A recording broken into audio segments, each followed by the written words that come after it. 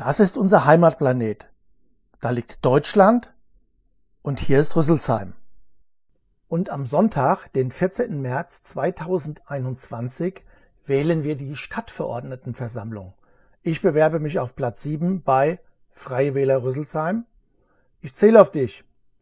Ich wünsche euch allen, trotz Corona, besinnliche Feiertage und einen guten Rutsch ins neue Jahr. Rüsselsheim, auf jetzt!